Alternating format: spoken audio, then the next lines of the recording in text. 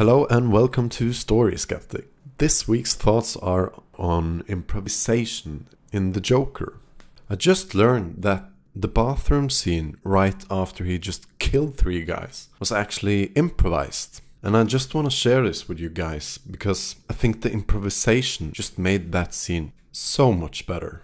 This scene was probably the one that made the most impression the first time I saw the movie. So this scene occurs right after the conflict with the guys on the metro. And afterwards he's running trying to get away and he runs into the bathroom. In an earlier script, the scene was written like this.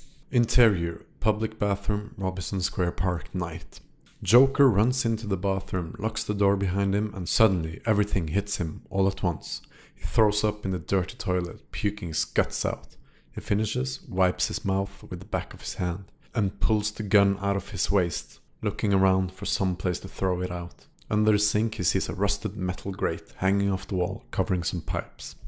Before he bends down, Joker catches his reflection in the smudged mirror, sees himself holding the gun in his hand, beat. He raises the gun to his head and pulls the trigger. Click. It's empty.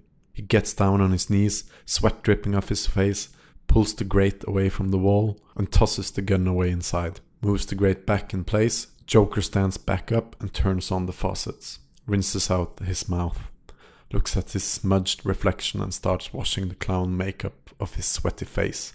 Hi, do you like to laugh?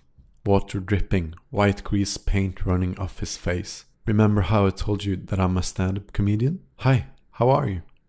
Beat. Okay, so there's where the scene in the screenplay as written ends. But at the day of the shoot, the director and Joaquin Phoenix talked about it would that make sense?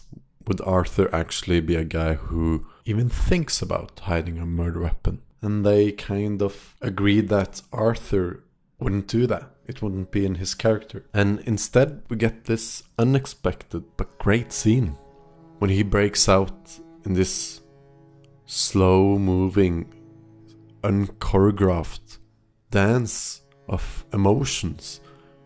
It really hits the music is haunting and just right. And the cinematography is beautiful and the editing is really minimal.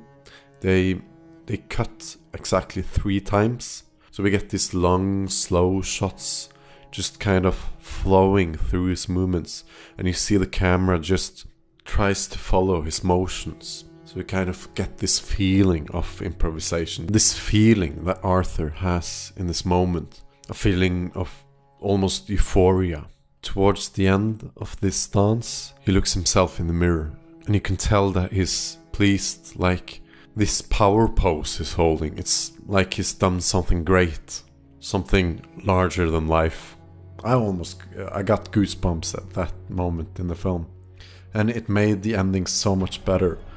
In the end, we get the same pose, the powerful, almost Christ-like pose, but this time it's not just this thing in his head. He has the whole crowd looking at him.